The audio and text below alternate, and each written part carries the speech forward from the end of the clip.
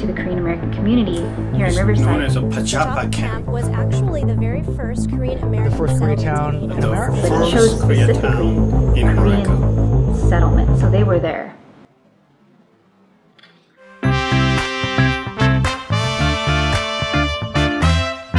Professor of Ethnic Studies and Director of Young Kim Center for Korean American Studies. One of the latest research project I am almost done with is known as a Pachappa Camp, the first Koreatown in America. The project began with a map And here is a picture of the Sanborn map, but it shows specifically Korean settlement, so they were there. And here is what it looks like today. It's Commerce Street, there are the railroad tracks. Well, they're actually located in the exact same spots, the same alignment. Uh, Pachappa Avenue is now Commerce Street, though, and it's to my left here, right alongside the railroad right-of-way. We still have the railroad uh, alignment to the left or to the to the northwest here, but the rest of the area has been developed with industrial uses. Uh, to me, it was very strange. I've never heard of Korean settlement in Riverside. I tried to look for materials, but there were none. Finally, was able to get to all Korean newspaper. They were published in 1905 until 1909. That was a jackpot. Uh, it has all kinds of materials, information on Korean community in Riverside, and I was able to piece it all together. So Pachappa Camp, again, was um, founded sometime in 1905 and it thrived. And while it thrived, it was because of the citrus industry that was here. So citrus industry here was phenomenal. I mean, this area was wealthy, wealthy, wealthy, wealthy. And it was sizable. community. So Pachappa Camp was different. It was here that, that Koreans had the opportunity to live together in close proximity.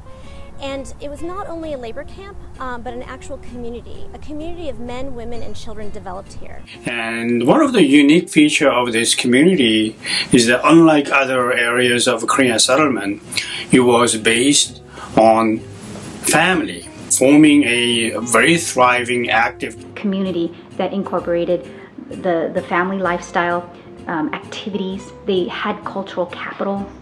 kind of a downward trend of a Pachappa camp is that 1913, uh, Riverside suffered from deep freeze. The great citrus freeze happened, so the crops were decimated. And that meant there was no more jobs. So that began the downfall of Pachappa Camp. And with you know less work people began to relocate to another you know places to find job korean national association decided to relocate from the uh, pachappa camp to nearby vine street And because of that, Pachappa Camp began to dwindle, dwindle, dwindle, dwindle. And by 1918, it was pretty much gone. and the key person who initiated and helped to construct this koreatown is dosan an chang-ho one of the early settlers of the pachappa camp was insu kim and he is a distant relative of An Chang-ho's wife, Helen Lee, and they settled and lived in Riverside until this year. Her, her youngest daughter, Violet Kim, she passed away in April 23rd, 2018, and she donated all kinds of photographs, you know, archival materials, And among some of the things that we found were the very first passports of the very first Korean immigrants to the United States, January 13, 1903. We found a passport in its original paper, stamped by the Korean Foreign Ministry and everything. I mean, this is history. Based on my you know research project, I was able to uh, write a uh, journal article. City of R- Riverside decided to recognize historical significance of the Pachappa camp, and they designated as the number one first uh, point of cultural interest by the city of Riverside last year. Young Kim Center uh, for Korean American Studies was established in 2010 Uh, we have an intern program. Um, we keep about two to three interns per quarter or per, per year.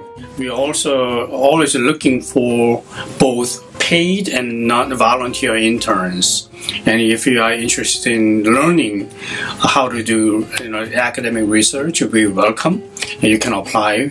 We a research unit in the university, but also we want to connect with the community that we are part of. So, you know, our research center is constantly trying to do both.